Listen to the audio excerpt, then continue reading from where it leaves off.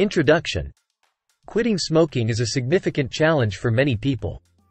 Nicotine, a drug found in tobacco, is highly addictive and can make quitting extremely difficult. However, with determination, support, and the right approach, it is possible to quit smoking.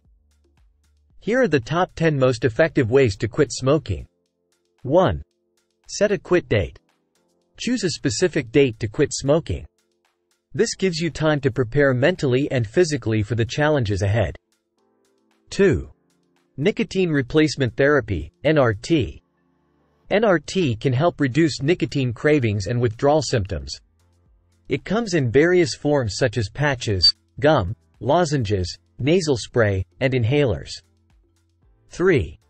Prescription medications. Certain prescription medications can help you quit smoking by reducing cravings and withdrawal symptoms. Consult your doctor for the best options. 4. Behavioral therapy. Working with a counselor or a therapist can help you identify triggers, develop coping strategies, and stay motivated to quit. 5. Support groups. Joining a support group can provide encouragement, motivation, and practical tips from people who are also trying to quit or who have successfully quit. 6. Physical activity. Regular physical activity can reduce your nicotine cravings and can help distract you from the urge to smoke. 7. Healthy diet.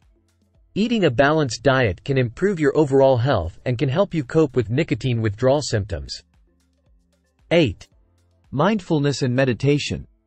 Practicing mindfulness and meditation can help manage cravings, reduce stress, and improve your mental well-being. 9. Hypnotherapy. Some people find hypnotherapy helpful in quitting smoking. It uses the power of suggestion to help change your thoughts and behaviors related to smoking. 10. Stay committed. Quitting smoking is a journey that requires commitment. It's okay to have setbacks, but the key is to keep trying and not lose sight of your goal. Conclusion Quitting smoking is one of the best things you can do for your health. It's never too late to quit, and while the journey may be difficult, the benefits are worth it. Remember, different methods work for different people. You may need to try a few different strategies before you find what works best for you. Don't get discouraged, and don't hesitate to ask for help. You can do it,